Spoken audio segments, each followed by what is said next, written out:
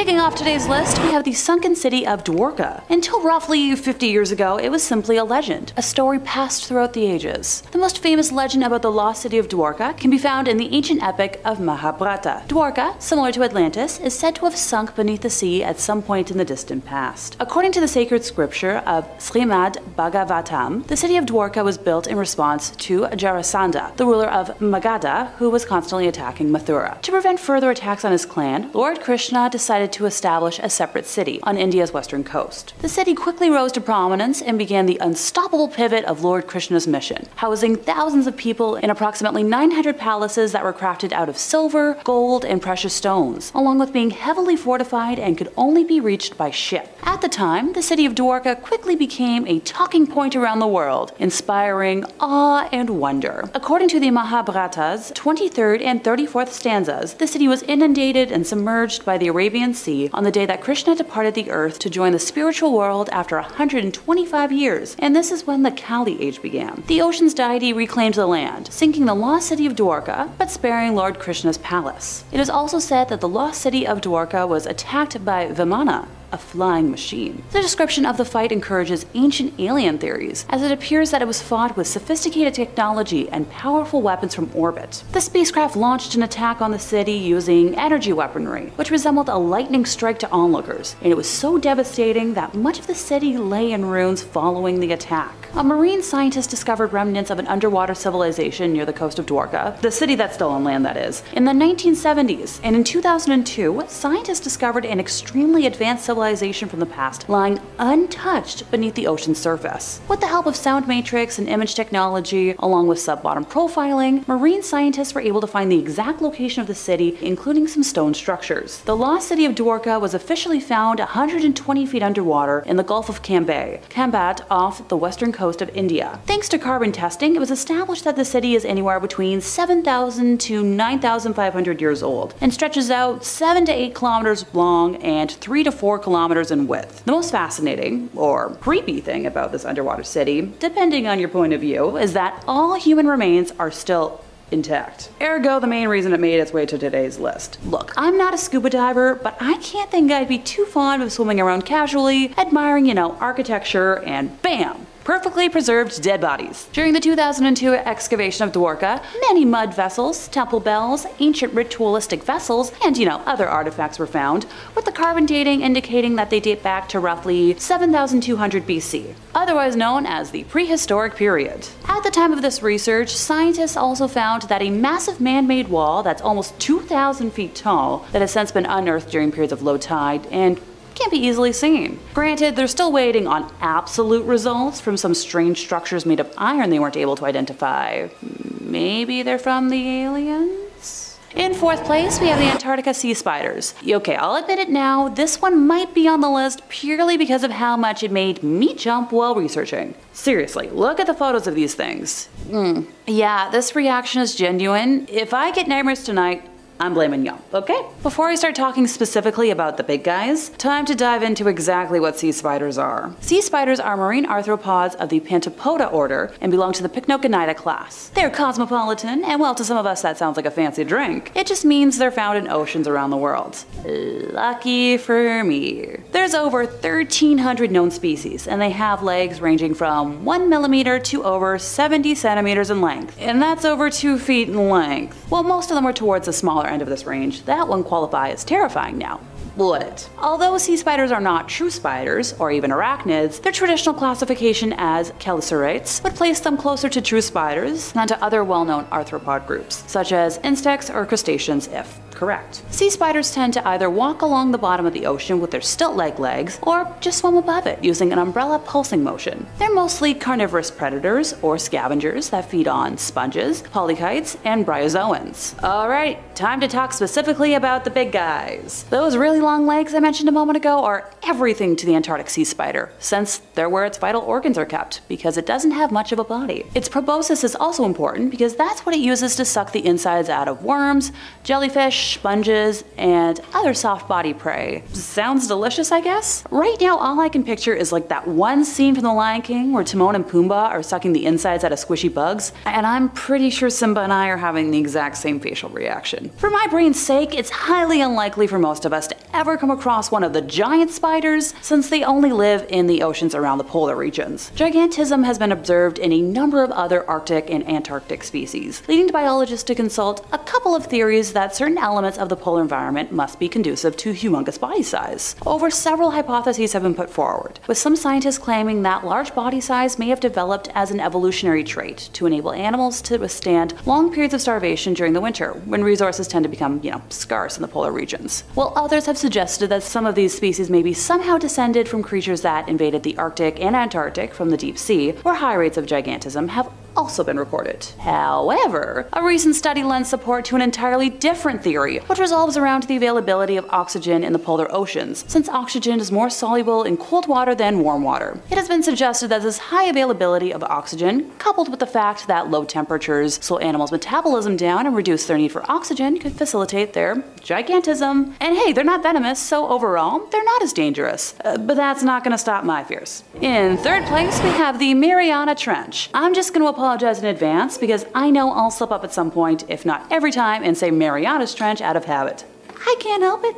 They're my favorite band. Even writing up my points today, I kept adding in the extra S. Feel free to let me know in the comments if you're also a fan. The Mariana Trench is an oceanic trench located in the western Pacific Ocean, about 200 kilometers east of the Mariana Islands, and it is the deepest oceanic trench on Earth. It's crescent shaped and measures about 2,550 kilometers in length and 69 kilometers in width. The maximum known depth is roughly over 36,000 feet, plus or minus another 80 feet, which is way too much math for my brain. At the southern end of a small slot-shaped valley and its floor known as the Challenger Deep. For reference, if Mount Everest was located at this point in the trench, its peak would still be underwater by more than 2 kilometers. And just remember, that's the world's tallest mountain we're talking about here, not some cute little hike. The Mariana Trench has been a major area of intrigue throughout history, with the trench first being explored during the Challenger expedition in 1875 using a weighted rope, which recorded a depth of 26,850 feet. In 1877, a map was published titled the Tiefenkarte de Grosses Oceans, or Depth Map of the Great Ocean, for those of us who don't feel like butchering a pronunciation today. Most recently, in 2011, it was announced at the American Geophysical Union Fall meeting that a U.S. Navy hydrographic ship equipped with a multi-beam echo sounder had conducted a survey which mapped the entire trench to 330 feet resolution. As of 2022, 22 crewed descents and 7 uncrewed descents have been achieved. Some notable discoveries over the years include the 1960 expedition, which claimed to have observed large creatures living at the bottom, such as flatfish that were about 30 centimeters long, and shrimp. In July of 2011, a research expedition deployed untethered landers, or drop cams for those of us that prefer simple English, equipped with digital video cameras and lights to explore this deep sea region. Gigantic single-celled organisms with a size of more than 10 centimeters in diameter, belonging to the class of Monothalamea, were observed. Monothalamea are noteworthy for their size, their extreme abundance on the seafloor, and their role as hosts for a variety of organisms. In December of 2014, a new species of snailfish was discovered at a depth of approximately 26,722 feet, breaking the previous record for the deepest living fish seen on video. During that 2014 expedition, several new species were filmed, including amphipods known as supergiants, bringing us back to that deep water gigantism I talked about earlier. Now, before any of y'all go, but Alexa, why is this scary? Well, it's because it's a constant unknown. Being so large and so deep, something new and creepy is discovered every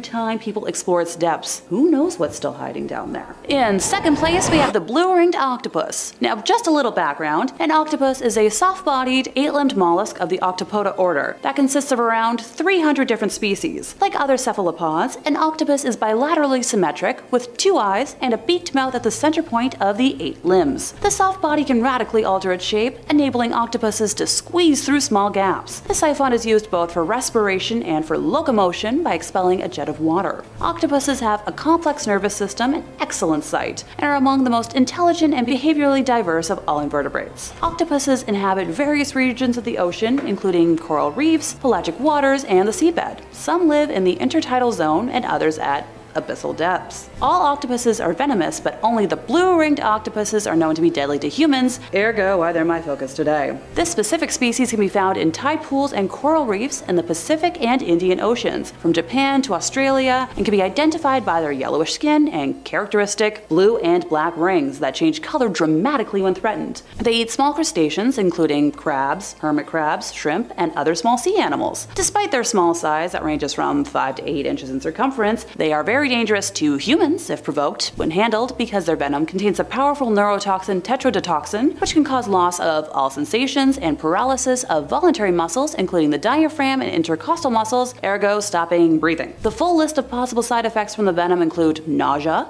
heart failure, severe and total paralysis, blindness, and can lead to death within minutes. The blue-ringed octopus carries enough venom to kill 26 adult humans within minutes. I'm just gonna repeat that to be clear, 26 adult humans within minutes. Their bites are tiny and often painless, with many victims not realizing they have been envenomated until respiratory depression and paralysis begins. Oh, and by the way, there is no such thing as blue-ringed octopus antivenom available. And finally, in first place we have the stonefish. Now, you might be asking, after the deadly octopus and a literal pit in the ocean, how can we get scarier? Welcome to where I almost jumped out of my chair and onto the floor. Stonefish are a family of fish called Cynocidae. They are famous for being the most venomous fish in the world, with a sting that causes excruciating pain in, you guessed it, humans. Their venom is lethal to other marine animals and humans, causing intense pain, breathing problems, damage to the heart, fits, and paralysis. Now thankfully, unlike the blue-ringed octopus, there is an antivenom, but if it's not delivered quickly, the effects can be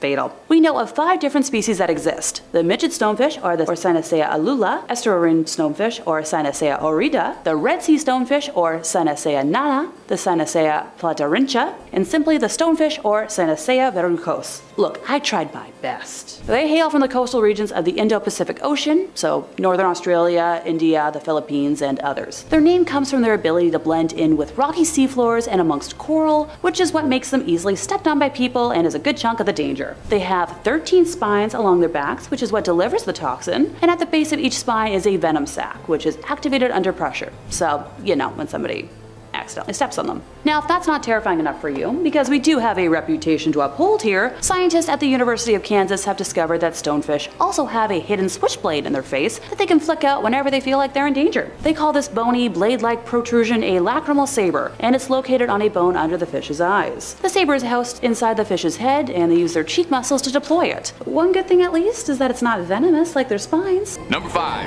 Oarfish. Coming in at the number 5 spot is this terrifying 16 foot long monstrosity hauled out of the ocean by Chilean fishermen. Shocking those who learned, like me, that fish can be 5 meters long sometimes. The clip was posted to TikTok where it went viral almost immediately, sweeping up 10 million views pretty quickly. Most people worried this fish might be a bringer of bad times, and there might be an inkling of truth to that. This fish, called an oarfish, is thought in some cultures to be an omen of impending bad fortune. I mean, I understand it completely. If, if, I picked this thing out of the water, I would not think that I had been blessed by good fortune. In Japanese folklore, this fish is sometimes referred to as Ryogo no Tsukai, translating to the messenger from the sea god's palace, and I'm sure I butchered that pronunciation, I'm so very sorry. It's linked to the legend of Namazu, a giant sea snake which caused earthquakes whenever it would rise. Oarfish live deep, deep, deep in the depths of the sea. And some scientists theorize that they only ever rise nearer to surface level whenever there's a disturbance in the tectonic plates, which would definitely make this fish a bad omen and a bringer of earthquakes. Now the actual oarfish, once you get aside all the legend, terrifying as it might look, is a bit of a gentle giant. It's the largest bony fish in the world, and it isn't much of a predator, preferring to swim around just hoovering up plankton. They barely even have teeth, to be honest, and they don't really pose a threat to humans. Unless you consider scaring the heck out of you a threat. You want to watch more scary sea creature videos? Well, I got great news for you because we have loads upon loads on the channel. Number 4. Green-Eyed Shark. Now, if the ocean is where all the scariest stuff in the world is hiding, that goes triple for any body of water around Australia, which is home to some of the actual most terrifying entities ever to walk the planet, and swim the planet, and fly the planet.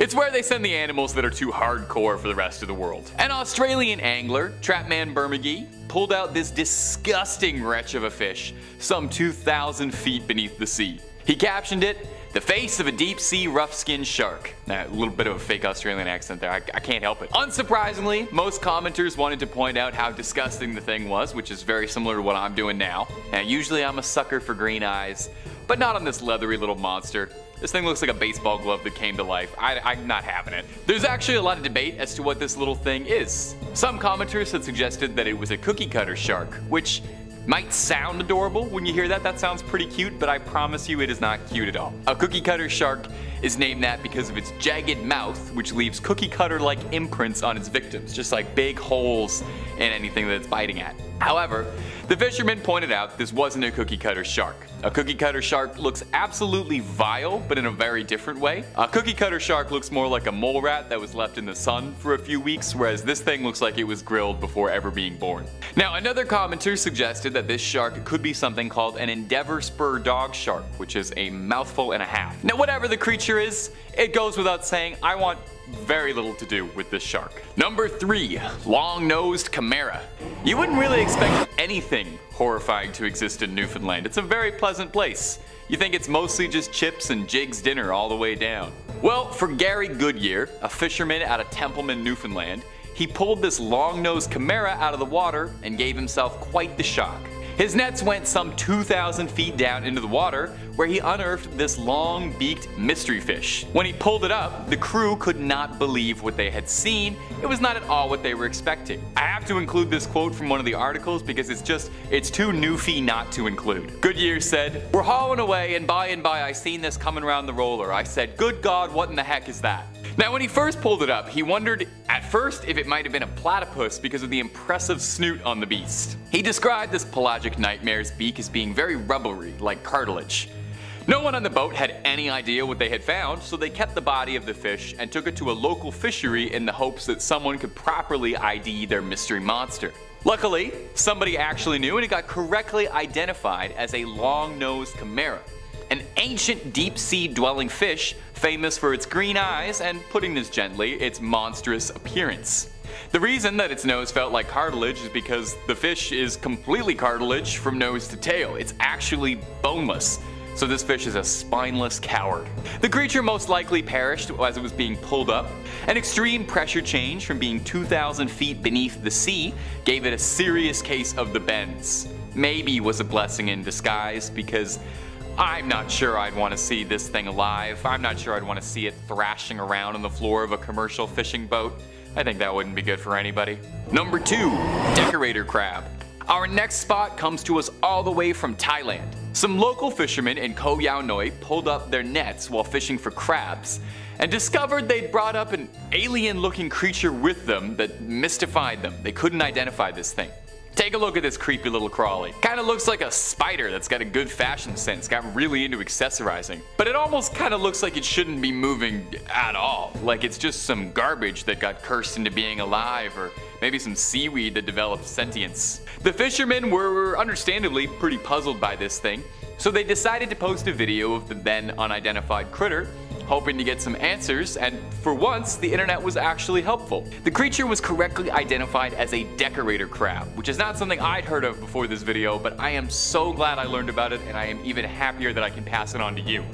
A decorator crab gets its name for its habit of using whatever it can scavenge around its environment to make into camouflage from predators. Now the really cool thing is that they'll use literally anything they can find. Debris, garbage. They'll even use little bits of other animals in a gruesome manner like fins or parts of a crab shell. If it can be attached to it in some way, a decorator crab will stick it to itself. They're covered in tiny velcro-like hairs that allow them to attach their findings easily. I, I would love having that. Would save me so much time getting dressed. They've been recorded chewing on things like kelp or seaweed to break them down into more easily attachable accessories. Now most of the creatures on this list have been weird and scary and kind of look horrifying and I'm not gonna lie, the decorator crab kind of looks pretty scary too, but I absolutely adore the decorator crab. It is showing up every other creature in the ocean when it comes to outfits. I love the garbage costume. It's given camp in a very good way. This thing is like a crab Lady Gaga and I love it. Number one, Ghost Shark.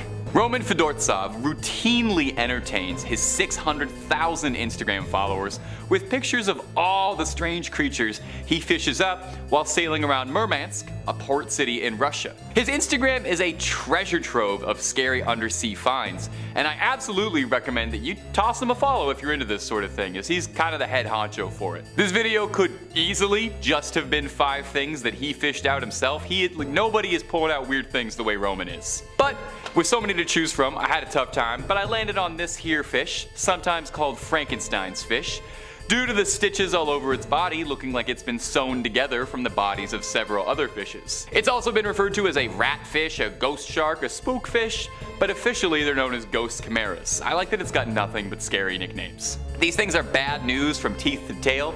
They have a spiny dorsal fin that's poisonous to the touch. It's got a mouth of rat-like teeth that helps it grind down anything it catches, crushing its prey in its jaws.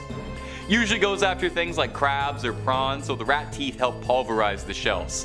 These little things also have an inherent ability to detect the electric fields produced by other creatures, and I wish I knew even the littlest bit about biology because this fish sounds like it's magic. Fish also sounds overpowered, not gonna lie. Now, I think as a little treat, we ought to have a little slideshow at the end of just a bunch of Fedortsov's weirdest catches, and I'll just react to them. Ready? Okay, here we go, lightning round. Who would make this? Why would a creature evolve like this? I guarantee you this thing looks cuter as sashimi. That, that is a face not even Mother Nature could love, if that even is a face. You know what, this one, I'm actually kind of coming around to. I wouldn't touch it, I wouldn't order it, but I kind of like it. Number 5. Wolverine Fish. Hugh Jackman, if you're watching this and you like scary stuff, this first one's for you, my dude. In 2021, there were more than 200 new species of just freshwater fish discovered alone just freshwater, Hopliancistrus wolverine. Okay, that's a pretty badass name. And a badass looking fish. There's no way in hell I'm taking that thing off of a hook with my hands. Are you kidding me? And you wouldn't want to either, because these fishes have strong lateral curved spikes called odontodes tucked underneath their gills, which at any time they can extend and jab at their prey with these spiky prong-like claws, hence the name. For those of you who don't know Wolverine, he's an X-Men with claws it kind of goes hand in hand here, you know? The wolverine fish is actually a catfish, however, that grows up to only about 6 or 7 inches long. They get their name from both the barbed razor sharp prongs associated with them and the temper and aggression inside of them. Yeah, so like full blown Wolverine style anger. Luckily for us, they live in between rocks found so far in the Brazilian river of Rio Xingu in the lower Amazon that I don't think you're gonna swim into any one of these soon. I feel like that's where the scariest fish are, the Amazon. Also, kind of confusing biologists, so many species and names alike but not alike. Catfish, wolf fish, half wolf, half man X-Men fish. Like every day there's a new fish. Wolverine fish are only herbivores and graze on algae and detritus tucked away deep under rocks. So the likelihood of you just like stepping on one of these are pretty low. Might scare you away from their home, but they won't eat you. Just don't go flipping over any rocks and reaching underneath murky water in the Amazon. That's all I can say for this one. Number four, alien fish? Well, one magnificent alien fish, Advena magnifica, which translates to magnificent alien, hence the name. No, no, it's not from outer space or anything, don't panic. Technically, it's not even a fish. This sea sponge literally gets its name because it just looks like E.T.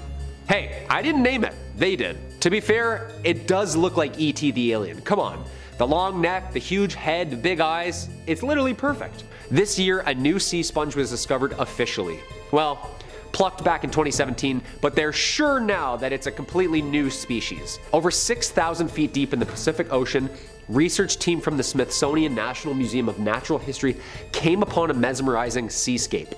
Dr. Chris Mah of the team dubbed the scene, quote, a forest of the weird. The sea sponge rises up from the seafloor to look exactly onto the direction of the current, mouth open, hoping to swallow up some bacteria to eat. That's sick. Just an alien sponge sticking their ET heads out, catching the breeze, hoping for some fast food. Doesn't sound like a bad gig. The two holes of the sponge that give it its signature ET eyes appearance are clearly visible on the outside of its head.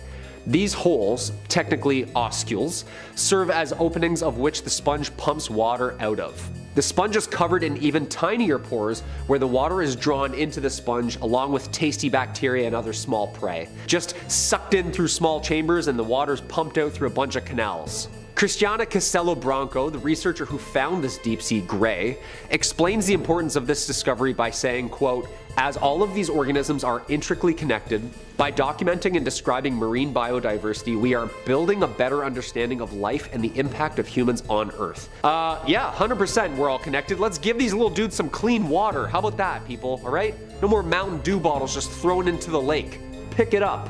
Number three, bulldog fish. Catfish, wolverine fish, now bulldog fish. When are we just gonna have a fish fish, you know? The bulldog fish, or the Xiphactinus audax. That sounds like a Decepticon, doesn't it? Audax? Roll out. Bots, Autobots. Never mind. This thing can truly teach a new dog some old tricks. Like 90 million years old tricks, because our newest discovery is actually a really, really old one. Extinct, extinct, thankfully. You wouldn't want to haul this thing up in your net. The Dino of the Week blog states that some of the longest bulldog fish ever may have once even measured up to 6 meters long. Uh, yeah, that's like a regular sized shark. The bulldog fish fossils may be quite valuable as well. A fully intact, complete framed specimen sold for about 110,000 at Sotheby's auction house. Is this the reason fish and chips are so expensive nowadays? Like, what's going on here? This scary dude roamed the warm, shallow waters of the western interior seaway that split America in two halves during the Upper Cretaceous period. Distinguished by their heavy, bony skull and armed to the tooth with teeth like a nightmare, last year, Andy Moore, a local fisherman, made a discovery while taking part in a fishing competition in Nebraska. When he brought his kayak over to free his line, he first thought that it was a skeleton of something that had recently died, so he just returned back to his tournament. He contacted the sheriff's department after the tournament, worried, and they got back to him saying it was his lucky day. Dude, imagine just reeling in a 90 million year old fish during a fishing tournament. Like, I hope he won. That's definitely first place, isn't it? Oh, Andy? Oh, yeah, caught a 90 millioner. Yeah. Number two, the barrel eye fish. Tubular eyes, bro.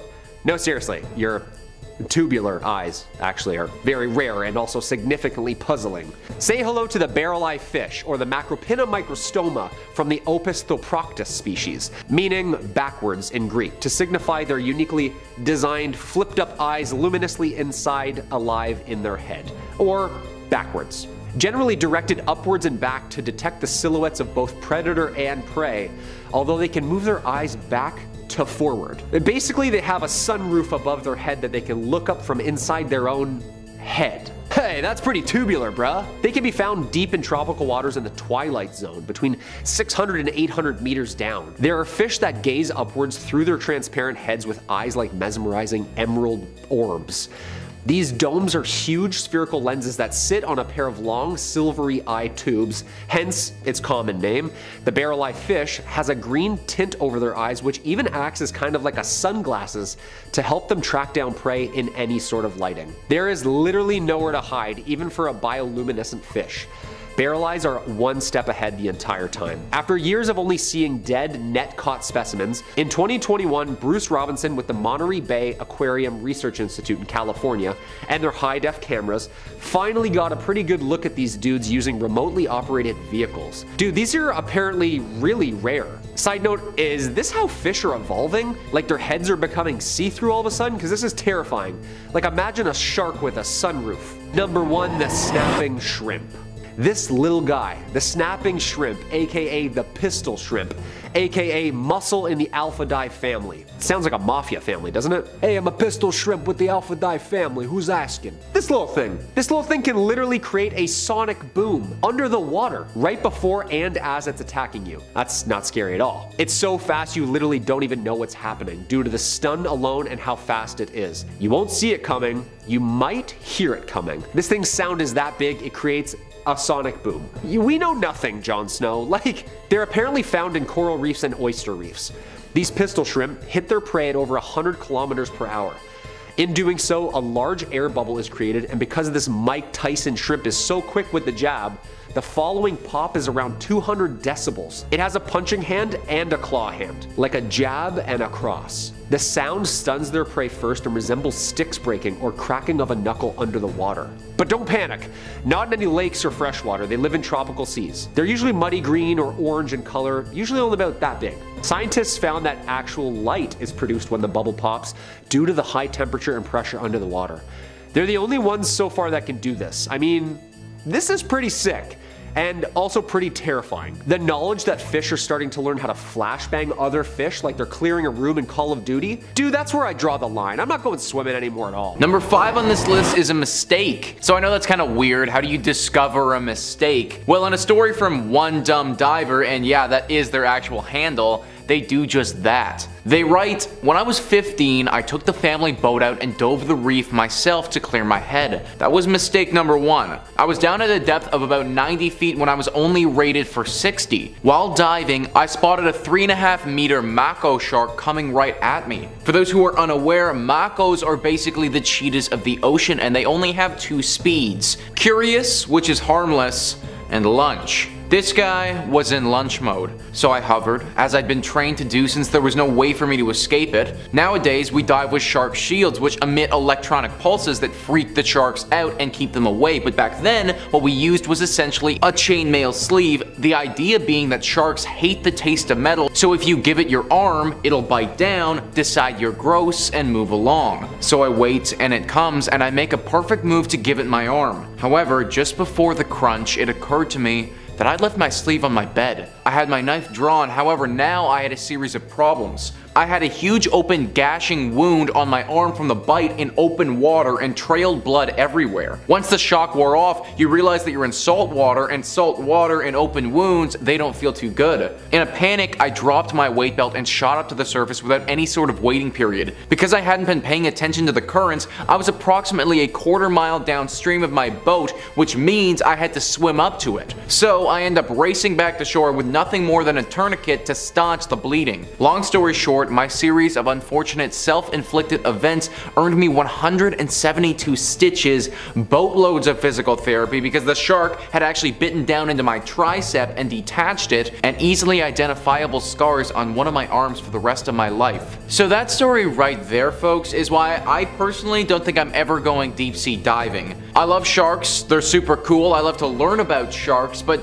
I am more than happy to keep them in a tank at the aquarium and learn about them in that way. Swimming with them or discovering one in front of you on the day that you also forgot your protective gear, not something that sounds like a great time. Number 4 on this list is a barracuda. El Herrera 9519 writes, one time when my parents visited Mexico, they went diving and my mom was slightly lower down than my dad looking at the ocean floor. My mom had on a gold necklace that was floating in the water around her. It was a sunny day and a fairly shallow dive, so it was sparkling. My mom looked below at all the critters when my dad grabbed her and started frantically shaking her arm to get her attention. She looked up and a barracuda was directly in front of her staring intently at the shiny necklace. She slowly moved up her hand to cover the necklace and then slowly and calmly moved away from it and it took off without bothering them anymore but still pretty unsettling and taught my mom to be a little bit more aware of her surroundings when diving. So I looked it up and barracudas can grow to be 1.8 meters in length. Pair that with their extremely sharp teeth and the fact that shiny objects remind them of the little silver fish that they eat, and you have yourself in a pretty bad situation. The woman in this story is honestly extremely lucky that this fish waited to decide if it was going to attack or not. Most times she wouldn't have had time to respond and it would have just gone to take a bite. Considering this necklace would have been around her neck, having a barracuda bite into it could have ended very badly. Number 3 on this list is a kelp forest. Duct Tape Jedi writes, After a day of boat diving in Monterey Bay on the California coast, we had a night dive planned. I was there with two friends celebrating my birthday and we were part of a larger group of divers. My friends were too tired for the night dive and I was too, but I got invited to buddy with another diver whose friends also decided to stay on the boat. So I was following my new buddy through the kelp when some of it caught on my tank. I tried to pull clear but managed to get tangled even more to the point where I was unable to move. I kept shining my light around looking for my buddy but he was nowhere to be seen. After what seemed like an hour but was possibly just a few minutes, I felt some of the kelp loosen up and then saw that my buddy was cutting it off with a knife. I was so exhausted after struggling that when we got to the surface, he had to tow me back to the boat. So discovering a full-on kelp forest, I mean, that would honestly be really cool, I think. Obviously, what happened to our diver would have been incredibly scary, though. Having to wrestle for over an hour, or however long he was there for, with some kelp in the dark, probably thinking that you're going to drown, Doesn't sound great. But if you did discover a kelp forest and that didn't happen, then I think it'd be pretty sweet. If you're going to go though, then make sure you carry your own knife because you wouldn't want to end up like our friend here. Number two on this list is a body. This story is from Texas Guy 911 and he says, I was diving in a local pond with a group of much more advanced cave divers than I was. I'm leading the dive as to get used to the pressures and responsibilities of heading the procession and they're mentoring me. The known horrible visibility makes it impossible to navigate by compass so we follow a line put by other divers. These lines go from one sunken item to another. So I know I'm about to hit a small sunken boat but I don't remember which one. There are a few similar in a row in the same state of decay. I'm the first in the group and I get to the boat and I see someone's black army boots sticking out from the inner quarters. It looks somewhat new, not like items you find on the bottom. It's hard to see due to so much muck in the water. So I touch the boot, thinking it's by itself, but it won't lift, like it's attached to something heavy. I put my hand further in and feel the leg continuing out, pants, the calf, and now I see the second leg. I turn around and show a sign for the emergency ascend to the group behind me. Everyone has a sour face. Nobody wants to go to the surface, but it's a rule that if one says up, others in the group must abort, no questions. They wanted me to explain with signs why, but what's a diver's sign for a corpse? I feel like I rush toward the surface, even though I'm trying to stay calm and take time. So, we're on the lake's surface. I have this adrenaline rush, can't breathe enough. So I tell them there's a body down there. I see rolling eyes from everyone once they see I'm serious. I describe in detail what I saw and then we go down again. Once we locate it, we don't know if we should go forward or backward as there are several boats on the line and who knows in which boat the body is in and how far we drifted while taking it out on the surface. Well, we find all the boats before seeing the original one, of course. So our customary leader goes into the boat's cabin and we wait. I'd say he was rather courageous at this point. Then he emerges from the cloud of muck and tells us all to surface. So gluing information together from what we learned later on, it actually turns out the police or some other agency had body recovery training in the same lake the same day. When they went for lunch, they stuffed their fully dressed anatomically correct rubber doll in one of the sunken boats for a few hours for safekeeping. So that didn't turn out to be an actual body, but I still think this would have been super scary. To feel a leg and then another leg in the darkness of the water like that on one of your first dives, uh, I mean that would be a lot. Maybe I'm just weak because deep sea diving is just not for me, but honestly that would have scarred me for potentially life, whether the body is real or not. Number one on this list is a survivor. Off the coast of Nigeria roughly 8 years ago, a tugboat broke down and sank to the bottom of the ocean. Three whole days later, a diving crew went out to the wreckage to see what was down there and recover the dead bodies. It was thought that no one could have possibly survived the crash and that all 12 people on the boat were dead. That's why the crew was so shocked when they found someone had actually survived. Maybe this doesn't seem as scary as finding someone who had died, but we're lucky enough to have the actual clip of them recovering this person and just watch as the hand comes out. All right, you found one, yeah? He's alive. He's alive.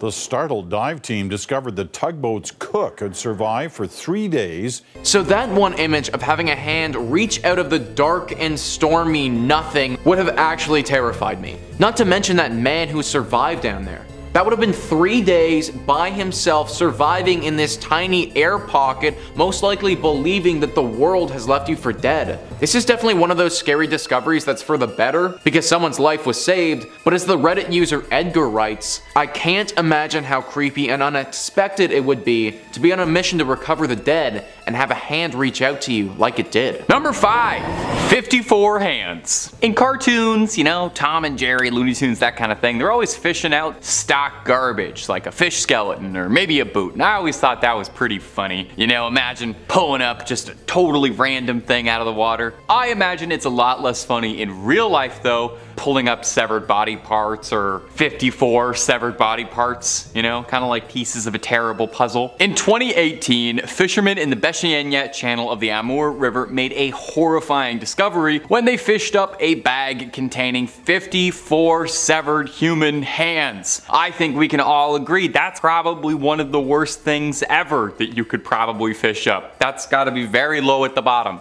At first, they pulled up a single hand, and that would have been enough to make this list, and then the fishermen shortly pulled up 53 other severed hands in a little sack. Someone out there is missing a collection, clearly. Now, I don't know a ton about Siberia's wildlife, but severed hands aren't indigenous to Siberia's rivers and lakes, meaning someone put them here. Investigators gave no clues as to who the hands might have belonged to at one point or why they were all discarded in this manner. The hands were wrapped in plastic shoe covers and bandages, and police took fingerprints from the hands to see if maybe they could be traced, maybe they could get some back to their owners. Now, theories about why 54 severed hands in a bag washed up have unsurprisingly prompted a lot of wild speculation.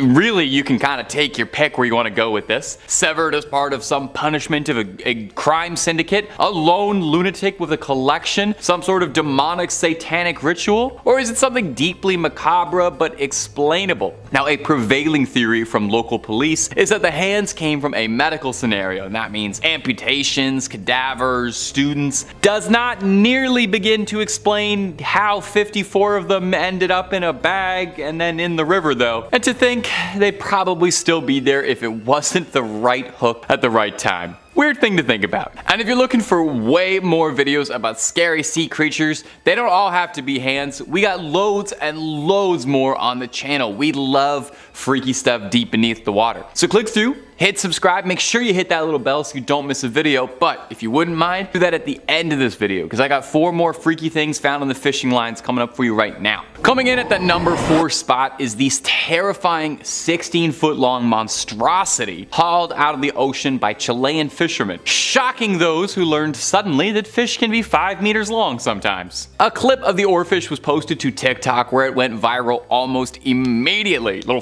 fishy fever sweeping up 10 million views. Most people worried this fish might be a bringer of bad times and there might be an inkling of truth to that. The fish is called an oarfish, and it's thought to be an omen of impending bad fortune, which I understand completely. If I was having a nice day on the water and I pulled this thing out, I would not think that I had been blessed. I would not think that good things were about to happen to me. In Japanese folklore, this fish is sometimes referred to as Ryugu no Tsukai, translating the messenger from the sea god's palace linked to the legend of Namazu, a giant sea snake which caused earthquakes whenever it would rise. Now, oarfish live deep, deep, deep in the depths of the sea, really way down there. And there's a theory that they only rise nearer to the surface level whenever there's a disturbance of the tectonic plates. That's the big crust that makes all the earthquakes happen, which would definitely make this fish a bad omen and a bringer of earthquakes, and you understand where the folklore behind it would come from. But Here's something for you. The actual oarfish, terrifying as it looks, is a gentle giant. It's the largest bony fish in the whole world, and it isn't much of a predator, so don't worry about it. It looks like it could swoop you up whole. It's not going to. It prefers to swim around hoovering up plankton. They barely even have teeth, actually. And they don't pose a threat to humans at all, unless you consider scaring the heck out of you a threat. And I hope not, otherwise I'd be threatening you guys every single day day, twice a day. Number three, basket star. Now, whenever I do these videos about the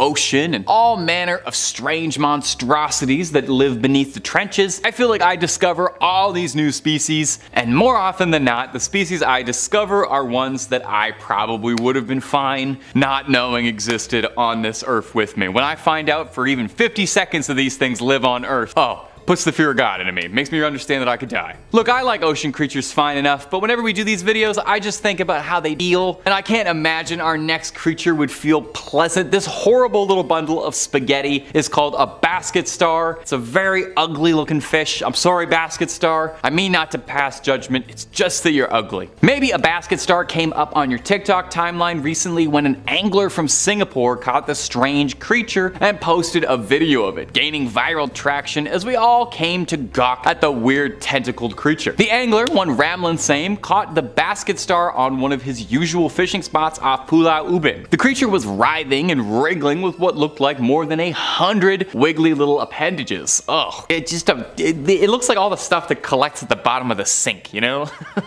looks like if you put your finger in that, you'd never get it back. I just don't like looking at it. At the time, he thought at first that it was just a bit of seaweed being pushed around by the waves, and when he pulled it up, he thought that that possibly the creature was an alien, which I totally get. If I pulled this thing out of the water, I would be calling the FBI. Now, while that would have been pretty cool, it's just this freaky little critter. Now, because they're deep sea creatures, it's rare that humans get to see basket stars up close or study them, which is what made Ramlin's catch all that much more interesting. We actually don't know a ton about these bizarre little creatures. But the other thing that made it so interesting is just cause come on, look at how weird this little pile of noodles is. That exists. That exists on the same planet as you.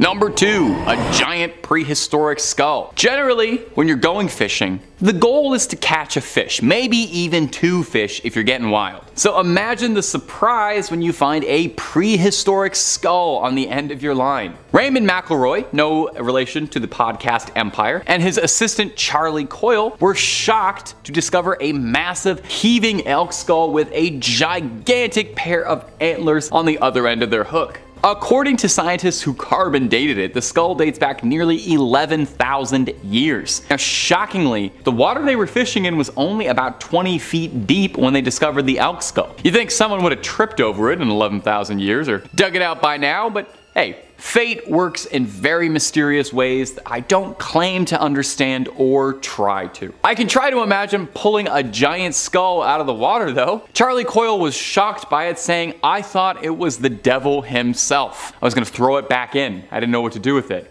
at the very least hanging it up as living room decor, man, above the fireplace, above the mantle. It would go great. Now, the skulls and the antlers of the giant elk once belonged to an extinct ancient species known as the Megaloceros giganteus, and I know I'm gonna end up making a bunch of videos about the Megaloceros the way I did the Megalodon and the Titanoboa. It's entirely possible. This species has been extinct for well, nearly 11,000 years and was one of the largest species of deer to ever trot around the world how it ended up in a lake in Ireland, get caught by a pair of fishermen, kind of above my pay grade.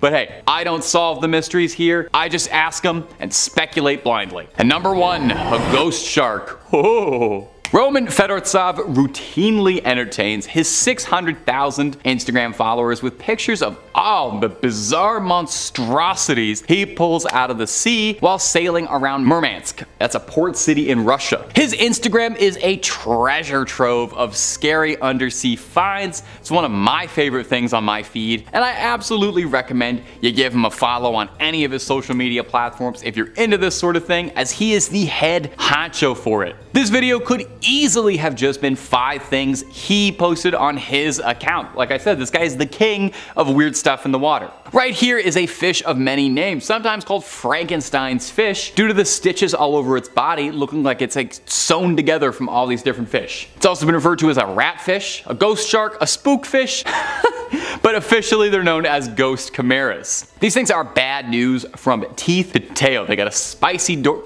they do not have a spicy dorsal fin. They might taste amazing, but I doubt it. I mean, look at the thing. They have a spiny dorsal fin that's poisonous to the touch. It's got a mouth of rat-like teeth that helps it grind down anything it catches, crushing its prey in its jaws. Now, it usually goes after delicious things like crabs and prawn, so the rat teeth help pulverize tough shells. You're not really supposed to eat the shells, but it's a fish. Nobody told it that. It also makes for a very handy nutcracker. Now these little predators also have an inherent ability to detect the electric fields produced by other creatures. I'm just reading fun facts off a Wikipedia page. I wish I even knew the littlest bit about biology because that makes this fish sound magic. I didn't know fish had like electricity. I should have paid attention in school. Too late. Now I'm here. Now I'm reading YouTube. I could have had a different career. Now, I think as a little treat while I reassess my life and my career path, we ought to have a slideshow of just a bunch of Fedortsov's weirdest catches. We'll do a little lightning round of some freaky sea critters and I'll react to them. We'll have fun. It's gonna be a great way to end the video. We're all gonna laugh. All right, here we go. Ready? Ready? Baby, that's not that's a face not even Mother Nature could love. I don't mind this one. I wouldn't touch it, but I like it. I like it, the cut of its jib. I'd play cards with this one. Buddy, toss that one back in the water. I don't ever want to see that again. Don't ever put that up on my screen again. I don't ever want to see that. Number five on this list is a giant eel. This is a true story that comes in from a Reddit user, RCMW181. They write, An old World War II ammunition ship off the south coast of England was full of brass topped shells. Most had been taken by divers over the years and it was now very rare to see them apart from a pile in one corner of the ship. The pile of shiny brass metals was miraculously untouched and remarkably clean after spending years underwater and you only found out why if you swam near them. Out of the murky darkness the largest eel I have ever seen snakes forward. Without exaggeration this thing had a head the same size as a horse's head full of jagged teeth. I could not see the body as it looped into the dark and deeper into the ship. No one got near those shells. Turns out for years this thing had been guarding the shiny brass shells, slithering over them making them shine. We found out at a bar later that he was famous in the area and many people went to the wreck just to see him. No idea why this giant creature was guarding them like a dragon and its horde, but some said eels are like magpies and like shiny things. There are multiple scary discoveries in this story in my opinion. First off, a Reddit user just glosses over the fact that they're in a sunken World War II munitions ship. They don't say so, but I would have imagined that people would have died on that ship when it sunk, and there may have even been some remains of the dead still down there. Then to come face to face with a giant eel that is extremely protective over these brass shells would be terrifying. If that was a giant moray eel, then those creatures can grow up to two and a half meters in length and can be very deadly in the water. Had that creature interpreted what our diver was doing as threatening, then they may not have made it to shore later that day to be able to share the story. Number 4 on this list is a freezer. This story from a Reddit user is just all kinds of creepy. Count underscore Dynamo writes, I've done a number of dives, and the strangest thing I ever saw was a large deep freezer with a heavy industrial chain wrapped around multiple times with about 5 cinder blocks attached. It was very rusted and the deep freezer itself had to have been 30 years old, probably more. This was about 90 feet just off off of Vancouver Island, Canada. The situation gave myself and the other divers the heebie-jeebies. Logged the GPS and depth coordinates and notified the police. We were able to find out what was inside since one of the divers had friends with the local police. 10 porcelain dolls. Now for starters, I'm actually kind of happy that they found porcelain dolls inside that freezer because when I was initially reading that story and heard about a freezer that was locked up and weighed down, I initially thought of a dead body, but having 10 porcelain dolls raises a lot of questions. Were these dolls potentially cursed and that was the only way to get rid of them? If you've ever come in contact with a cursed doll, then locking it up is the first thing to do. Ed and Lorraine prove it with their handling of the Annabelle doll. If these dolls are cursed though, then this discovery gets even more scary. Clearly, whoever locked them in that freezer threw them to the bottom of the ocean and didn't want them to be found.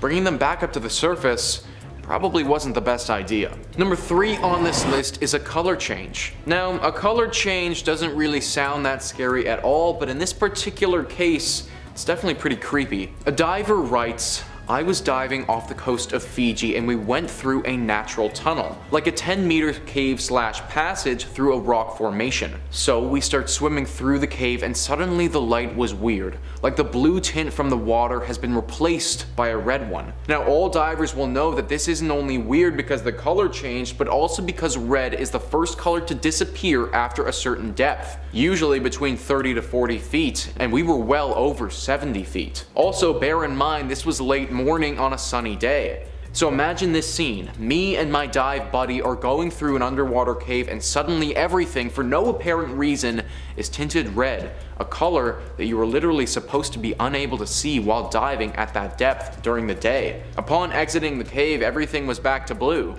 I thought it was just me, so I didn't signal to go back up. After the dive, my buddy asked me if I'd seen the water tint red as well.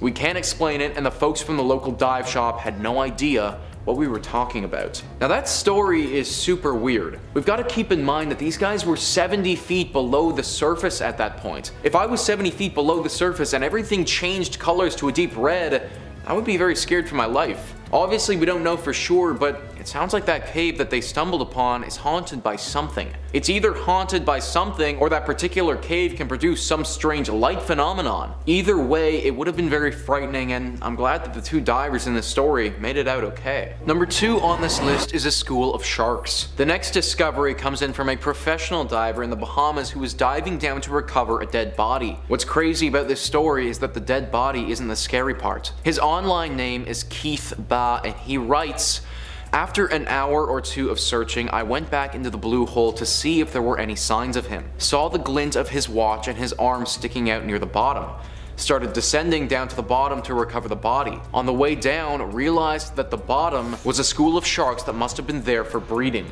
So many sharks that they blocked the view of the actual bottom. Descended into darkness, grabbed his arm, couldn't stand to look at the body, and started ascending.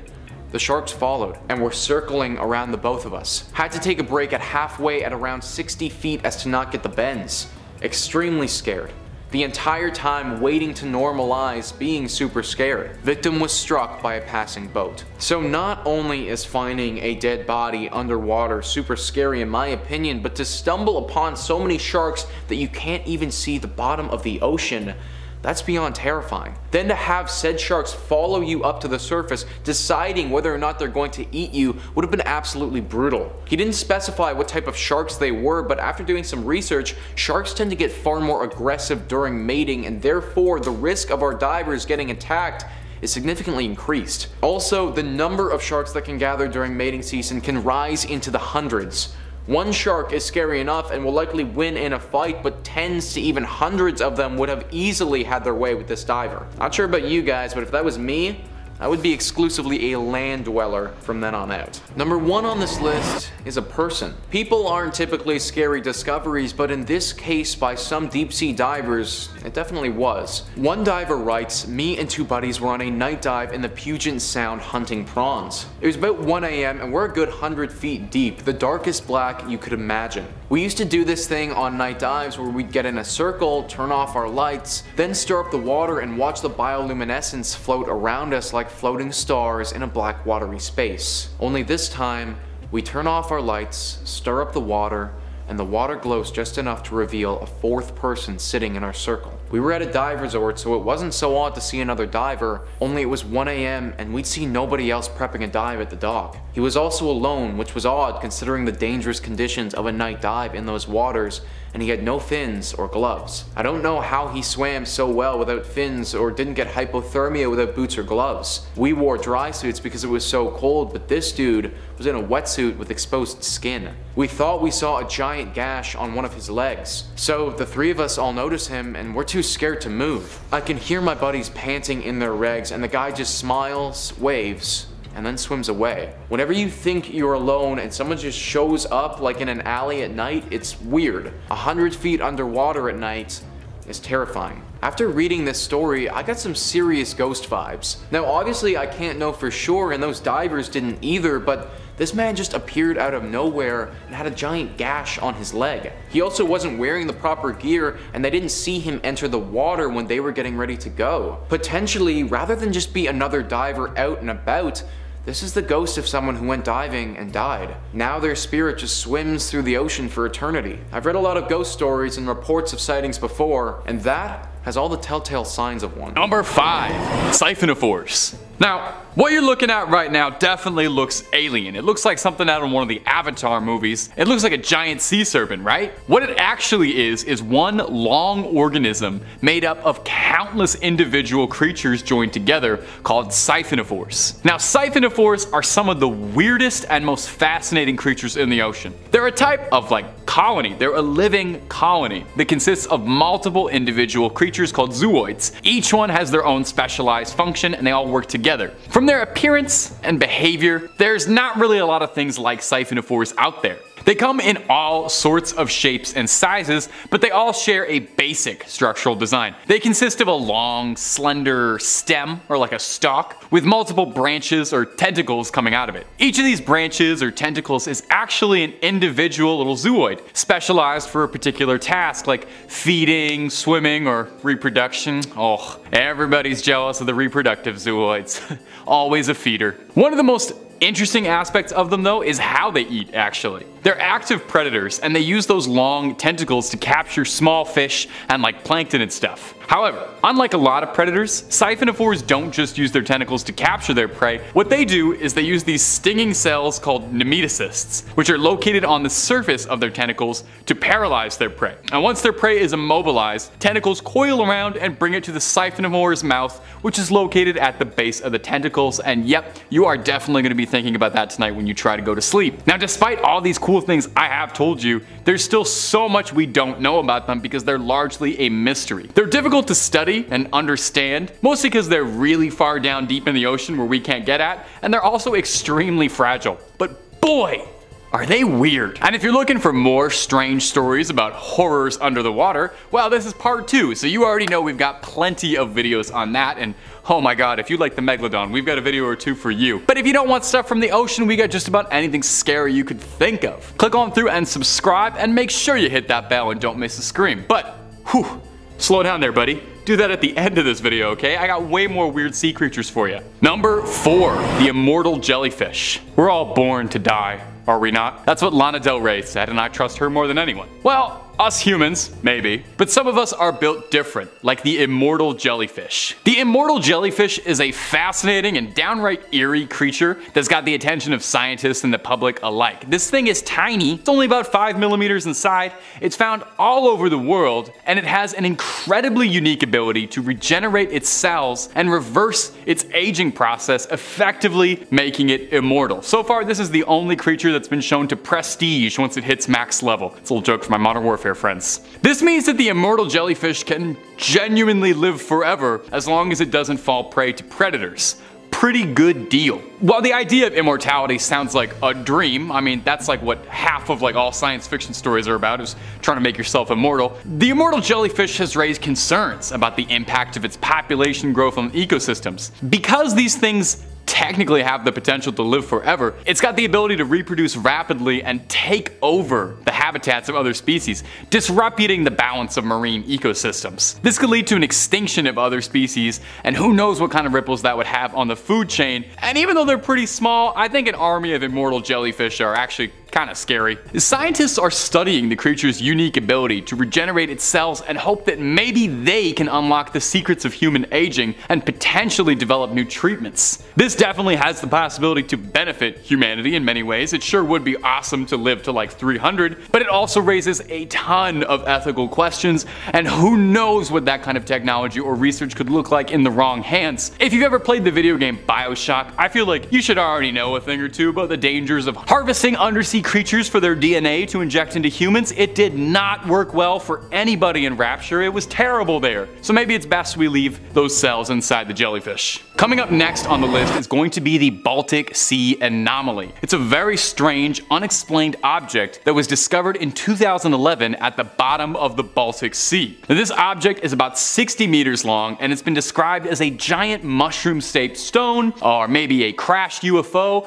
or some even think a sunken city city, a UFO underwater. Does that make it an unexplained swimming object? A USO? Of course, there are some who think that the Baltic Sea anomaly could just be a natural formation formed from years of erosion, but that would be boring. Despite numerous attempts to study the anomaly and try and figure out just what it is, it remains a puzzle to scientists and a source of fascination. I mean, that's why we're still calling it the Baltic Sea anomaly, not the Baltic Sea we know what it is. Definitely the most scary thing about it is that it's completely shrouded in uncertainty. This thing was discovered by accident, you know, they weren't even looking for it, they were looking for shipwrecks and happened to find it, and since then it has been the subject of constant speculation. Some, like I said before, believe that it could just be a natural formation, while others argue that this could be a shining piece of evidence towards an ancient civilization or even extraterrestrial life. There are some as well who are concerned that it could be a threat to the environment around it it because there are some studies that have suggested that possibly the object could be leaking toxic chemicals or even, God forbid, radiation, which would have some pretty scary implications for the Baltic Sea and the people who live near its shores. As well, the fact that we know just like so little about this thing makes us wonder what could happen in the future. Could this be a Godzilla situation where this is a sleeping kaiju beneath the oceans that's gonna come up and destroy a city? Probably not, but it could be. The Baltic Sea anomaly, we may never find out a single thing about it. It's gonna keep our imaginations going for years until we figure out just what it is. Who knows what dangers could be lurking? Could be nothing, but could be something. A reminder of how little we truly, truly know about what lies beneath the water. Number two, Sac Uayum. What is the last thing you think you'd want to discover at the bottom of the ocean? Is it the Kraken, Cursed pirate treasure? A cavern full of misshapen skulls and bones? It's the last one. That's the only real one out of three because that's our next point. This underwater cavern in particular, one Sac Uayum, is located in the Yucatan. It's a cenote, and a cenote is a natural pit from the collapse of limestone bedrock that exposes groundwater underneath. And the Mayans sometimes used to use cenotes as places to perform like a little bit of human sacrifice, like just a little bit, like a teeny tiny little bit of human sacrifice. This cenote sits outside the ruins of the ancient Mayan city of Mayapan, south of the capital of Yucatan. It was a major political center from the 12th to 15th century and contained within its stone walls a secret Mayan city. Now there were around 40 cenotes which served as water sources for the residents and a pretty convenient place to store the misshapen bones of your human sacrifices. Legend says that this particular cenote is noteworthy for being guarded by a feathered, horse-headed serpent. And when researchers dove in, they discovered there were very real reasons to be afraid. Bones scattered across the sea floors. 15 sets of bones marked by 15 bizarrely elongated skulls. These skulls were flattened during infancy. Um, why the Mayans did this is a bit puzzling to researchers and, and me. Uh, I don't know how much you know about like anatomy and biology, but traditionally the skull works best when it's not flattened. Now interestingly, researchers believe that these people weren't sacrificed, but rather their bones were laid to rest here to get closer to the underworld as they await the next cycle of rebirth. I only hope we didn't disturb them. I don't want to wake someone up while they're sleeping. And number one, the Yonaguni Monument. Now you've definitely heard of the lost city of Atlantis, this mythical city that could have been signs of an ancient technologically advanced civilization that people believe sunk. But have you ever heard of the Yonaguni Monument? It's been called the Japanese Atlantis. It's a mysterious structure found off the coast of Japan that's quite puzzled scientists and researchers for decades. Some argue that it was crafted by an ancient civilization. Now, the monument itself is a sprawling complex of stone structures, steps and platforms, and the most defining feature is a massive pyramid that looms over it with precise angles and straight lines that make it seem like somebody engineered this thing rather than this thing just happened. It defies natural explanation. Many people believe that this monument was created by some unknown ancient civilization that's been completely lost to history. The design and precision of the stone suggests that it was crafted, crafted with care and skill, likely by a culture with technology a little more advanced than ours. If it's a conspiracy you prefer that aliens did it, then definitely it's a possibility that aliens built this thing. Now, others believe that the monument is simply a natural formation, and I can already hear you booing, that has been shaped by the forces of erosion and tectonic activity as if you really believe in erosion. It's all a scam. They argue that the angles and straight lines are simply coincidental, and the monument is nothing more than a curious formation. Sure, that's plausible, but it does feel like a bit of a cop-out, and I just don't buy it personally. I'm usually more of a skeptic than not, but I have trouble believing that erosion and the passage of time could create something so strongly looking like a lost city. It would just be a very big cosmic coincidence, is all I'm saying. Now we know so little about the monument, and perhaps we never will, and that's just what makes it so Interesting. So you let me know down below, what do you think the Yonaguni Monument is? Something from an ancient culture? Evidence of aliens on Earth long before us? Or just some rocks that happen to look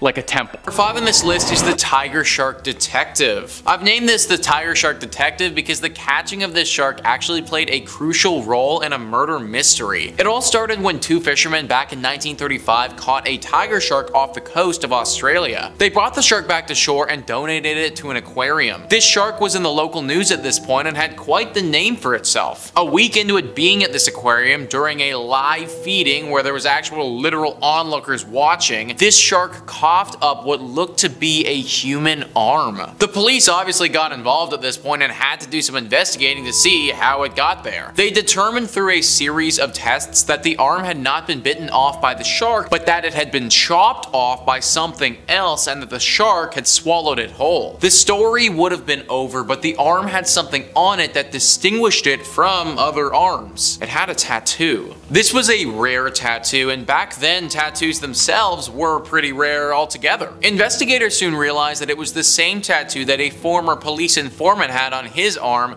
Jim Smith. He had gone missing a while back and they had no idea what happened to him. They started piecing it all together and looked into what potentially went wrong. They then realized that Jim had tried to blackmail the wrong people and it hadn't gone so great for him. The murderers then killed Jim and disposed of his body, but kept the arm because they knew that the tattoo would be able to lead people to the conclusion that it was Jim. They anchored this arm down and threw it in the water, not suspecting that a tiger shark would eat it and then later be caught by a fisherman. Eventually, the police tracked down the killers and brought them to justice, and it was all because these two fishermen fished up a tiger shark that just happened to eat some pretty important evidence. Number four on this list is the Chimera lobster. Catching a lobster isn't really that impressive, but what if you caught a lobster that looked as if it came straight from another dimension? A little bit more mysterious if you ask me. Cracked writes, when Alan Robinson headed out to sea in Bar Harbor, Maine in July of 2006, he, like all commercial fishermen, was hoping for a little luck. What he hauled into his boat that day was a 1 in 50 million discovery. It looks like a fish torture delicacy, but it's actually a natural phenomenon.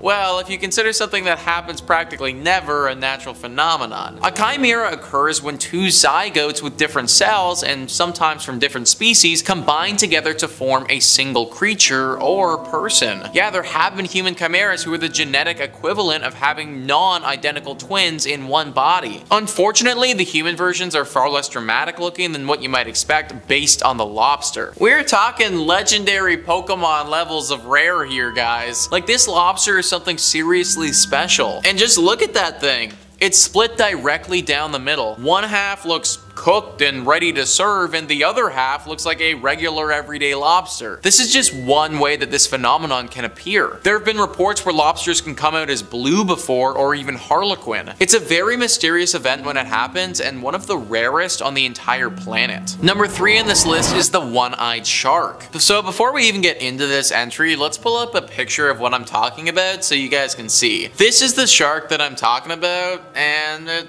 looks pretty fake, right? Well, that's exactly what the internet came out and said, but it turns out that this one-eyed freak of a shark thing might actually be legit. Let's pull up a few of the later shots of this shark and see how you guys feel now. Cracked talks about these other pictures and says, in these later shots, some time has passed and the creature is noticeably a little worse for wear in comparison to the originals. The gentleman in the pictures above is Dr. Philippe Galvin, one of Mexico's most renowned shark researchers. While it was reported by Pisces Fleet that Dr. Galvin had seen, studied, and produced an initial paper on this otherworldly animal and was awaiting review and publication, skeptics still voiced their disdain, complaining now that the shark had to be a creation of special effects artists and that it didn't have gill slits. But the skeptics were soon put to bed because apparently when a pregnant bull shark was recently caught by a commercial fisherman in the Sea of Cortez, the albino cyclops shark was one of the unborn fetuses found inside. Pretty crazy stuff if you ask me guys. Also kind of creepy that the one-eyed shark is just an unborn fetus. I guess nature really do just be like that sometimes. Number two on this list is a skull. Finding body parts in the ocean, or actually anywhere in the world, has gotta be pretty jarring. I'd imagine that probably the most jarring of those body parts though would be a human skull. Reeling that up on your fishing line when you're expecting to catch some rainbow trout has got to be quite the shock. Well, this case is actually way worse than that. Imagine going fishing, fishing up a human skull, and then having that human skull literally be the skull of one of your former best friends. Yeah, that's right guys. What I just described there is exactly what went down to Barry Hunter in 2007. He found the skull of Brian Allison, someone who had gone missing several years prior and someone who Barry would often go drinking with. The commercial trawler, the Jan Denise II, was found at the bottom of the ocean several years prior. Brian Allison was on that boat and it was assumed that he perished when the ship went down, but his body, it was never recovered. His family, ever since that ship had gone down, were truly in a horrible place mentally. They inherently understood that Brian had most likely died at the bottom of the ocean, but without ever receiving confirmation, it truly left them in this horrible gray area that they could never escape. This finding from Barry finally gave them the closure that they needed to move on with their lives. Still, it must have been absolutely horrifying for Barry, who actually found the thing and then later realized who it was. And finally, number one on this list is the ghost ship. This is definitely not something that you and your buddies would want to find if you're out for a relaxing fishing trip. Rock Rocket Geeks writes, encountering other ships at sea during a fishing trip isn't such a rare occurrence, but what if they're ghost ships with their occupants still on board? In 2016, two fishermen noticed a strange vessel drifting about 50 miles away from the Philippines. Disturbed by the ship's appearance, they decided to board it to see if anyone was on it. What they found was the decomposing body of German explorer Fritz Bajorat, who was last seen in 2009, which had been almost perfectly preserved by the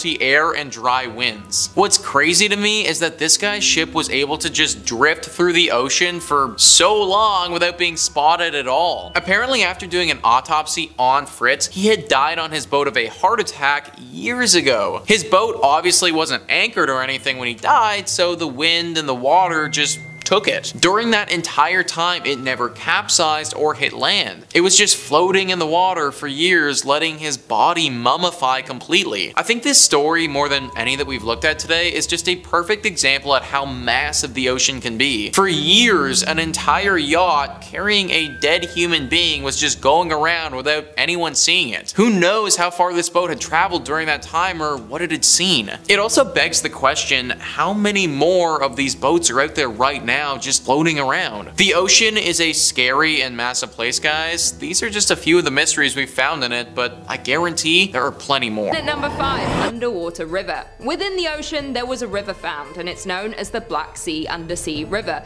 This discovery was the first of its kind in the entire world at the time and was found in August of 2010. The underwater river is saline water flowing through the Bosporus Strait and along the seabed of the Black Sea. Before this discovery, scientists had previously found channels running along the ocean floor based on sonar screening.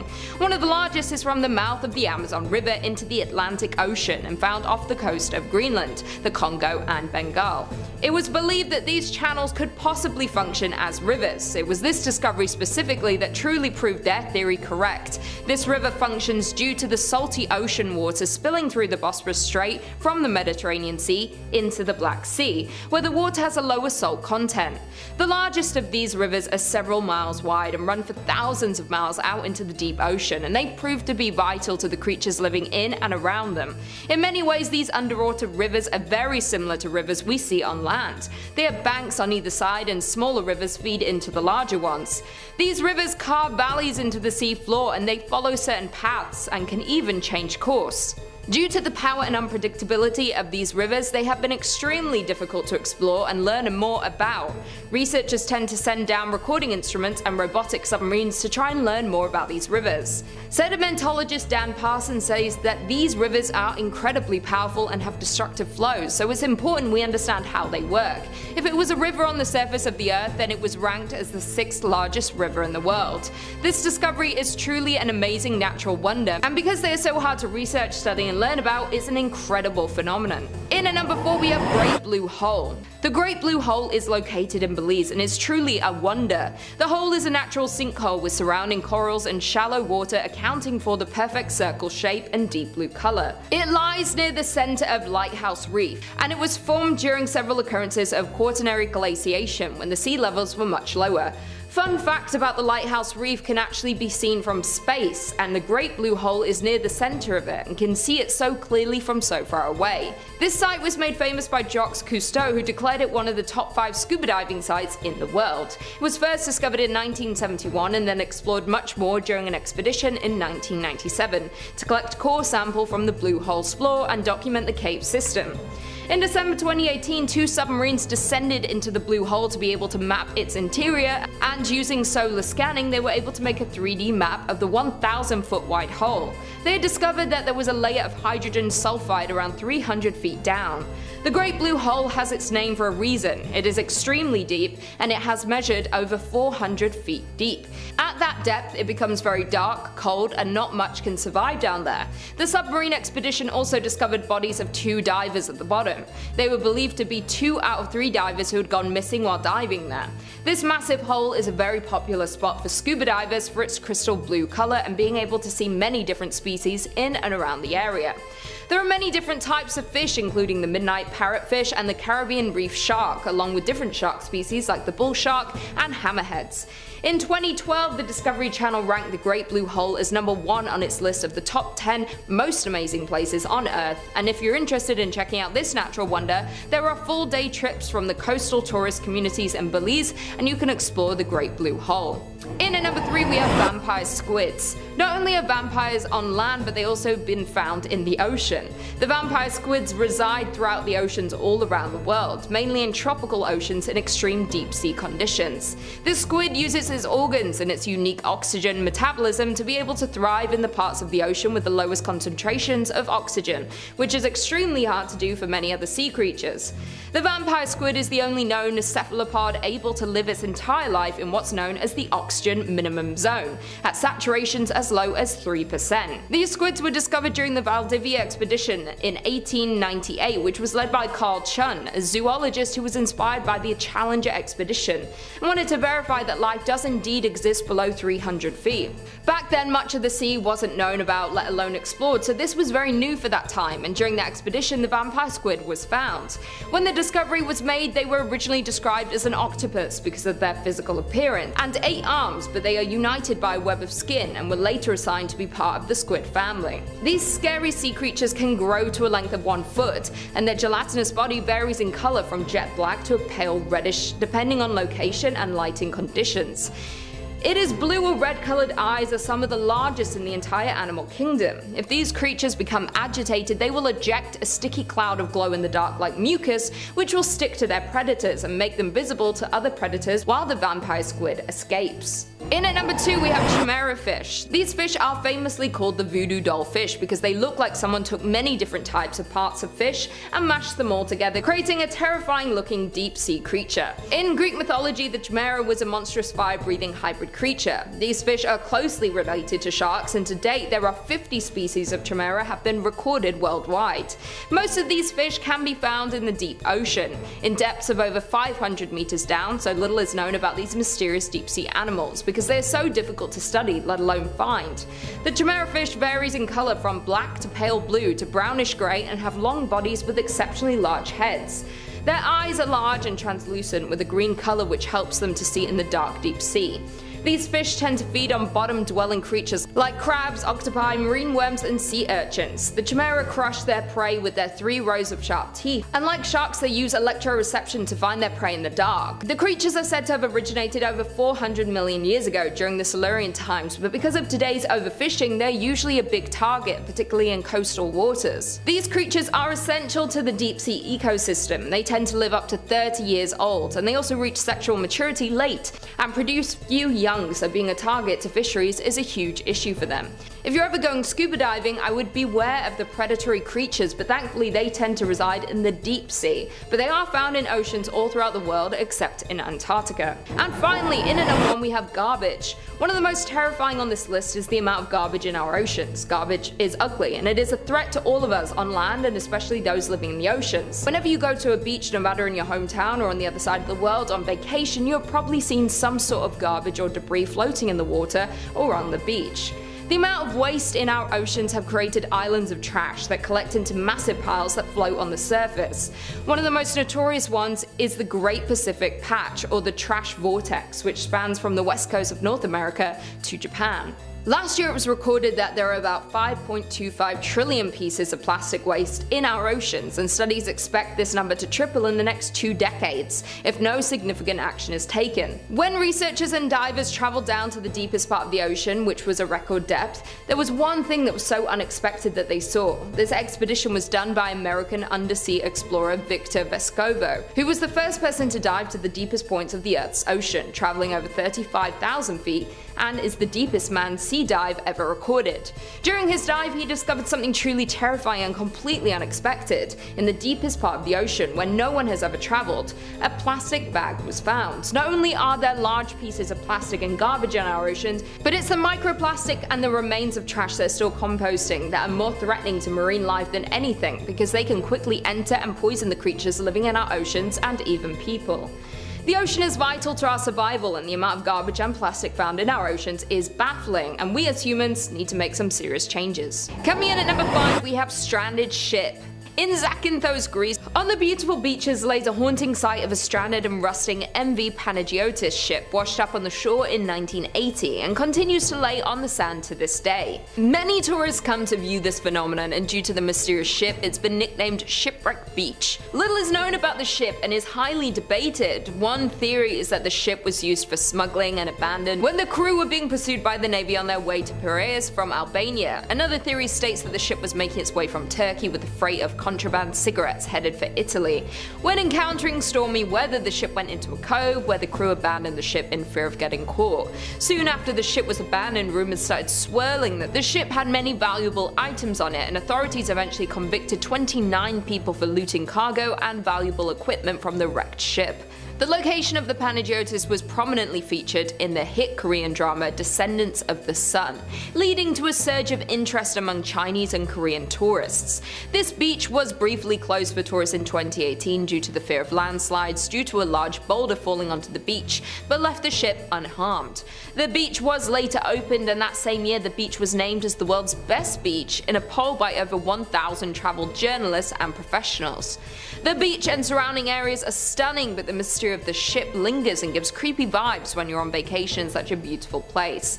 Some tourists have stated while getting close to the ship they've heard noises coming from inside, and some locals believe that this ship is haunted by the past crew members. In at number 4 we have numerous lost cities. One of the most famous lost cities that have been located in the ocean is the lost city of Atlantis. The lost city used to actually consist of a few islands where the founders had created a utopian civilization and became a great naval power their home consisted of concentric islands separated by wide moats and linked by a canal. The island of gods contained gold, silver and other precious metal and had an abundance of rare and exotic wildlife. Many believe Atlantis and the story behind it was a fictional story that was created by an ancient Greek philosopher Plato, but others believe it was a real story and that the lost city is supposedly located in the Atlantic Ocean, while others say it's the Mediterranean or under Antarctica, and this is a popular debate. Besides the highly debated Atlantis, there are currently at least a dozen lost cities that rest at the bottom of the ocean near places like Greece, Japan, and India. The sunken palace of Cleopatra is one of the most fabled underwater remnants of the ancient world. It had sunken more than 1400 years ago when an earthquake and tsunami hit Alexandria, Egypt. One of the most spectacular and intact lost cities is Shi Cheng, or otherwise known as the Lion City, which is located at the bottom of China's Qiandao Lake.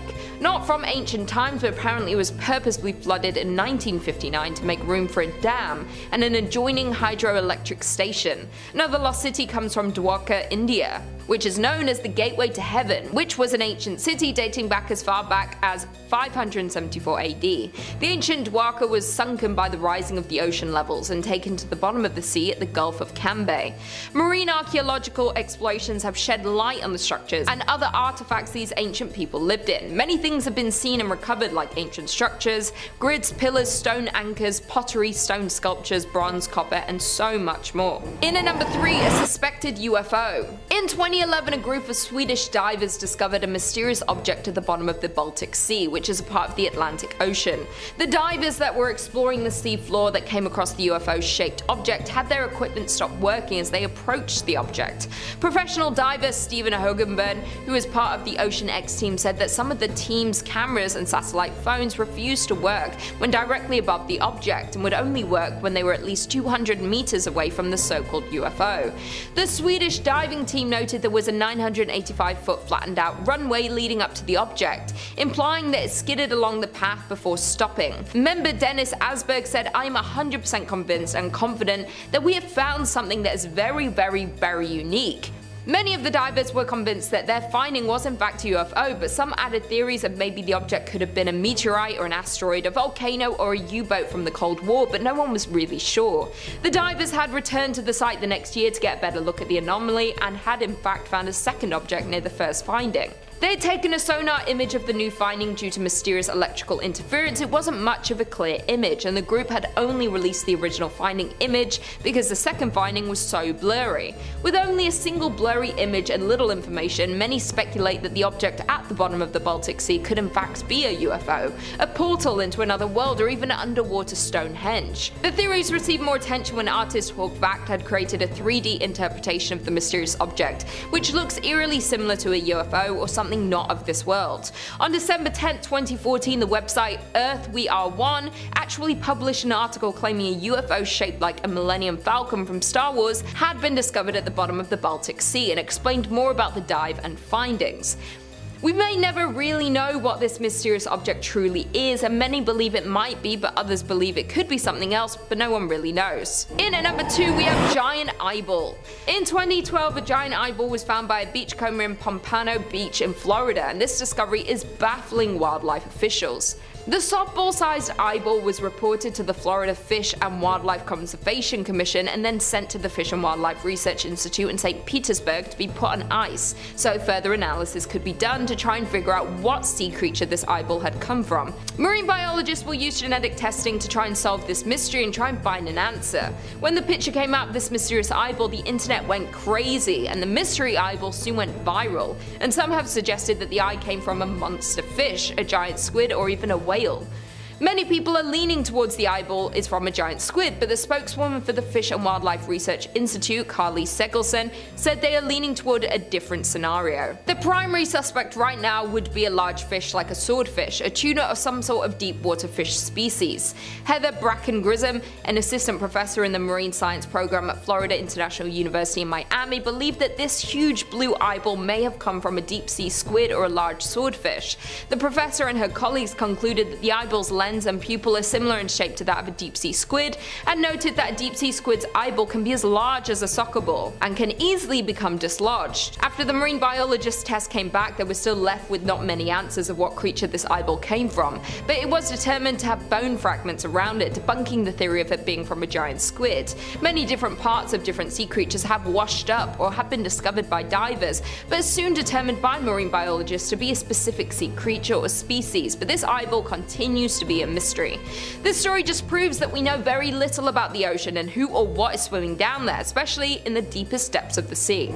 And finally, in at number one, we have Icicle of Death or better known as the icy finger of death. It creeps through the ocean's depth like a frozen eel, an eerie phenomenon known as brine icicles. Brinicles are most commonly called the icicles of death. It freezes everything it touches. Only discovered in the 1960s, these things grow towards the sea floor from the base of the Arctic and Antarctica sea ice. This phenomenon happens when extremely cold brine sink to the bottom of the water, reaching warmer seawater below. The water around it flash freezes, creating a descending tube of ice known as a brinicle. Sometimes an underwater icicle reaches the seafloor and when it does, a web of ice forms and spreads, entombing and freezing everything in its path, including any unlucky sea life such as a starfish and sea urchins. Andrew Thurber, professor at Oregon State University, an avid diver, had actually seen a brinicle bloom firsthand and stated, they look like an upside down cacti that are blown from glass, like something from Dr. Seuss's imagination. They're incredibly delicate and can break with only the slightest touch. The formation of a brinicle was first filmed in 2011 by producer Kathryn Jeffs and cameraman Hugh Miller and Doug Anderson for the BBC series Frozen Planet. They can even create brine pools, which are called the Black Pool of Death, and are toxic to marine animals due to their high salinity and anoxic properties, which can lead to toxic shock and possibly death. Based on what scientists have learned so far, they believe life on Earth may have originated from these tentacles and that they may even harbour conditions suitable for life to form on other planets and moons. Number 5 on this list is Julia. According to Wikipedia, Julia is a sound recorded on March 1st, 1999 by the US National Oceanic and Atmospheric Administration. NOAA said the source of the sound was most likely a large iceberg that had run aground off Antarctica. It was large enough to be heard over the entire equatorial Pacific Ocean autonomous hydrophone array with a duration of about 2 minutes and 43 seconds. Due to the uncertainty of the arrival azimuth, the point of origin could only be narrowed to between Bransfield Straits and Cape Adare. The most accepted explanation is that a massive iceberg scraped along the ground, but in truth, it could be anything. This was a one-off sound, so we'll likely never know for sure, but an iceberg, a massive animal, some underground volcanoes, maybe even tectonic plates shifting, all of these are potential explanations for why this sound may have come about, and none of them are great. This sound was huge, and if this is what it sounds like for tectonic plates to shift, then they're probably shifting around in ways that we don't really need them to be doing right now. Also, there was a rumor that NASA had photographs of the body of water that was suspected, and that there was a massive shadow in it. People believe that they may have been able to capture a photo of some giant creature down there, but don't want to reveal such information to the public. If the creature is as big as people think, then I kinda understand why. Number 4 on this list is the upsweep. Schneider writes, Upsweep is an unidentified sound that's existed at least since the Pacific Marine Environmental Laboratory began recording SOSUS, an underwater sound surveillance system with listening stations around the world in 1991. The sound consists of a long train of narrow band upsweeping sounds of several seconds duration each, the laboratory reports. The source location is difficult to identify, but it's in the Pacific around the halfway point between Australia and South America. Upsweep changes with the seasons, becoming loudest in spring and autumn, though it isn't clear why. The leading theory is that it's related to volcanic activity. This sound or signal is very unique because it keeps coming back and changes with the weather. Frankly, I don't really understand how this could possibly be related to volcanic activity because the season is dictating how loud or soft the noise is. Why would the fact that we're in fall change anything about a volcano's activity and therefore the sound? Is it possible that this explanation is just an explanation of convenience and the fact of the matter is no one really has any idea why this is happening? Or maybe even worse, they do know why it's happening and are just covering it up anyways. Number 3 on this list is the hum. The hum is one of the most interesting signals from the deep ocean that we've ever run into. Caitlin Schneider writes, The hum has been recorded on several occasions, mostly during the last 50 years or so. In these cases, there have been reports of a relentless and troubling low-frequency humming noise that can only be heard by a certain portion of the population. It's difficult to pinpoint when instances of the hum began, but it's been well documented since the 1970s, and since then, cases have popped up all over the world from Ontario, Canada to Taos, New Mexico to Bristol, England to Largs, Scotland and Auckland, New Zealand. In most instances, the affected group only makes up 2% of the population, but for those individuals, the hum is largely inescapable and impossible to track. Those affected report never having heard noises before and say the hum is generally heard indoors and becomes louder at night. It's also most common in rural and suburban areas and among people between age 55 and 70. Scientists have long investigated the cause of the drone, occasionally tracing it to industrial equipment emitting particular frequencies. For the most part though, the sound has left the world completely puzzled. The list of other possible culprits is long and wide-ranging. Wireless communication devices, power or gas lines, electromagnetic radiation, radio waves, earth tremors, or the ocean are all suspects. Because the hum appears and disappears and because the cause may vary from case to case, the phenomenon still baffles researchers. At this point, a few things are clear. The hum is real and likely a byproduct of 21st century living. They think that this sound might come from the ocean, but they're also really not that sure. This is one of those ones that just really doesn't make any sense. Caitlin writes at the end there that it might be a product of 21st century living, but I frankly don't understand that. How is our way of living causing this hum to come from the ocean all around the globe at totally random times? Also, why is it that people from the ages of 55 to 70 are more affected by this? It's stuff like this that reminds me that we aren't as smart as we think we are. Sometimes I think that we're so advanced that we have it all figured out, but then I'm reminded that there's just this massive hum that occasionally happens which nobody knows why. What it means or what it could do is all a mystery, which honestly adds to the scare factor. Number two on this list is skyquakes. So when you hear skyquakes, you probably don't think that they have anything to do with the water, but they actually do. Caitlin Schneider says that skyquakes or unexplained sonic booms have been heard around the world for the last 200 years or so, usually near bodies of water. These head scratchers have been reported on the Ganges in India, the east coast and inland Finger Lakes of the US near the North Sea, and in Australia, Japan, and Italy. The sounds which has been described as mimicking massive thunder or cannon fire has been chalked up to everything from meteors entering the atmosphere to gas escaping from vents in the Earth's surface, or the gas exploding after being trapped underwater as a result of biological decay, to earthquakes, military aircraft, underwater caves collapsing, and even a possible byproduct of solar and or earth-based magnetic activity. So there's a lot of explanations there, but I want to circle back to the one about gas getting trapped underwater. Apparently the gas gets trapped and then causes an explosion. Well what if a ton of gas gets trapped? What if so much gas gets trapped that the explosion doesn't just cause a sound, but actually causes a catastrophic event? It leads to a huge tsunami that just wipes out an entire city. If this is the explanation for the sound, then I don't see why that isn't possible. Which would mean that whenever we hear such a thing, it's just a potential natural disaster waiting to happen. All that makes it a pretty scary sound if you ask me. And finally, number one is the bloop. Potentially one of the most infamous sounds ever recorded from the ocean, the bloop has kept experts guessing for years. In 1997, a super low frequency but massively powerful sound was heard in multiple spots around the globe. Experts think that it originated off the coast of South Africa, but are not 100% sure.